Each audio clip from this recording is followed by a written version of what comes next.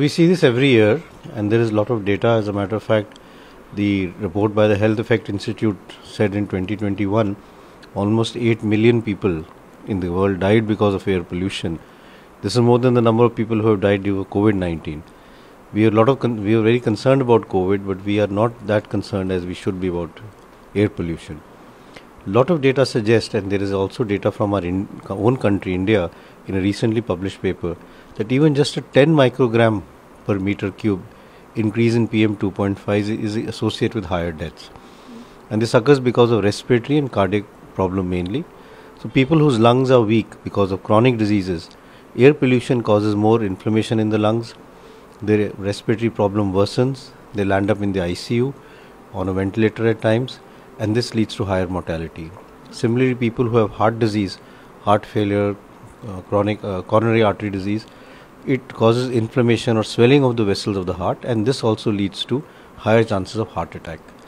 There is also data now emerging that it's not only the heart and the lung, but pollution can affect almost any part of the body because these fine particles of air pollutants, uh, less than 2.5 microns, and other chemicals, when they enter the body from the lungs, they can go into various organs so they can lead to diseases which are long term have a long term effect like dementia neurological problems uh, diabetes metabolic syndrome all of these have been linked to air pollution Sir, uh, each year we talk about this, but nothing has been done. No, the, the air pollution, the number are rising day by day. Why this is happening, and what is the solution for this?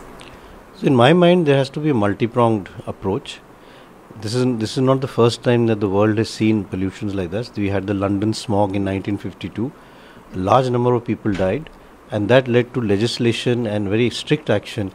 And now we see that in london the air is of very good quality. This happened in los angeles. This happened in mexico city. So i think first is that we have to be very aggressive in legislation in implementing those to make sure that pollutants are not released and the emitting source has to be identified secondly we need to work on seeing how can we make our environment more green. So in terms of the emitting source what can we do to really make it less pollu- uh, polluting? Uh, whether it be crop burning whether it be vehicles whether it be dust construction all of that needs to be addressed to see what we can do in a manner which is also sustainable and which can be done uh, in uh, so that there is the people who are involved in this are also not affected in a big manner secondly we need to also have individual action. We all need to look at this as our own responsibility and therefore use whatever means we can so that we decrease our carbon footprint.